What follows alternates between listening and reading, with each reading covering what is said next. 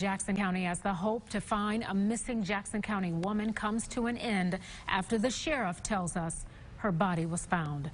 Good evening. Thanks for joining us for Fox 16 News at 5:30. I'm Donna Terrell. I'm Kevin Kelly. Sydney Sutherland was first reported missing Wednesday afternoon after she left her home to go for a jog.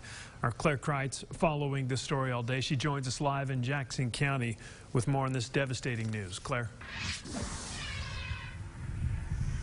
Yeah, Kevin, I talked to Sheriff David Lucas about 3 o'clock today, and he did confirm they found Sutherland's body. Now, we don't know exactly where, but we are just north of Highway 67, and you can see that a deputy is blocking off the access road. Now, I've seen law enforcement go in and out of that area, but again, we don't know exactly where Sutherland's body was found. We do know that they did find her phone yesterday more north, about a quarter mile from her home, and they were concentrating their search efforts there. The sheriff did have a press conference at 1 this afternoon before Sutherland's body was found, and he talked about how this case hits close to home.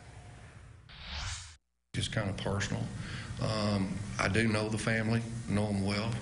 Um, I know Sydney, uh, watched her grow up. Uh, she went to school with, with my girls.